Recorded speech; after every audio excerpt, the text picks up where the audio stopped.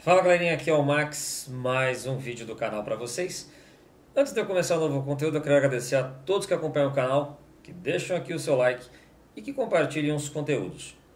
Se você não é inscrito, se inscreve aqui no canal e acompanhe sempre as novidades do mesmo. Aproveite para acompanhar a promoção do canal que está rolando, que eu vou deixar o link aqui na descrição do vídeo para vocês poderem participar e também concorrer a um prêmio muito legal. Bom, hoje eu vou falar sobre um assunto muito pouco falado, ou até falado, mas não muito discutido, que é a questão você está pedalando errado.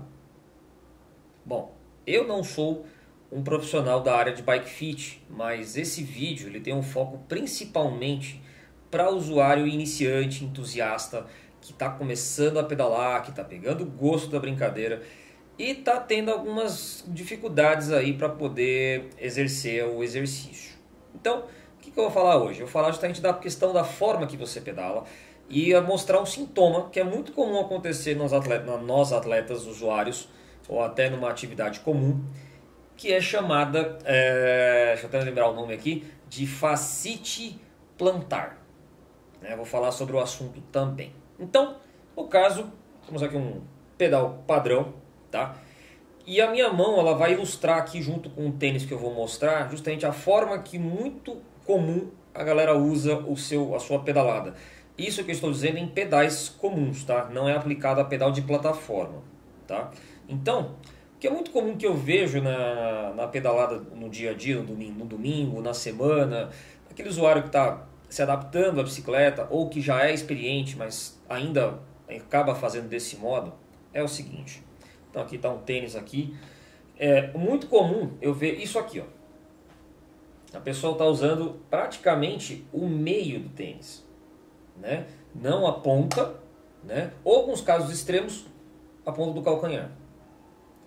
Bom, Max, o que, que isso interfere na minha pedalada? Como visto nos pedais de clipe, nos, nos, pedais que nós usamos, eles possuem um taco, que esse taco é justamente no, na ponta do pé quase, na parte superior do pé. Então, aqui no meu caso é um tênis da Shimano. Então, ele tem um taco de metal, de alumínio, próximo da área superior do meu pé. Ele não mexe com a minha facite do meu pé. Ah, Max, o que é a facite? A facite é basicamente um tendão que liga do calcanhar até a ponta do pé. Tá? E é uma área móvel. Então ela não tem músculo para proteger, para manter ali a resistência. Basicamente o músculo que nós usamos é mais a área superior, tá? Então, o que eu vejo muito usuário fazendo errado, equivocadamente, por até uma falta de informação, ou até por não estar tá acostumado, é, vamos dizer com a minha mão, é usar aqui né, no meio do pedal, né, no meio da facite, o calcanhar, em alguns casos aqui. Mas por que, eu tenho que usar aqui, Max, normalmente? Porque essa é a área que você faz a força na, do impulso numa corrida, na pedalada em si, você vê o, o atleta profissional, você vê que ele utiliza a ponta do pé para exercer a força, claro, junto com os demais músculos do corpo. Mas se você utilizar no meio da perna, da área da facite, você vai machucar o seu pé. Você vai girar um, chama, um termo chamado de, fac, é, de facite plantar. Existe aqui no caso do meio é a fáscia plantar, né, que eu tinha mencionado, e aí essa face ela não tem força, ela não é para fazer força, ela é só para esticar ou dobrar o pé, tá? É, então os, os atletas ou usuários já estão mais acostumados, usam sempre a ponta do pé para fazer a pressão na pedalada e fazer o seu a sua pedalada ou até treino ou exercício que seja. E aí o que, que acontece nesse caso da fascite plantar? A fascite plantar é uma dor, uma dor que, causa, que é causada próxima do calcanhar. E ela começa quando você acorda ou quando você vai andar. E é muito comum em atleta.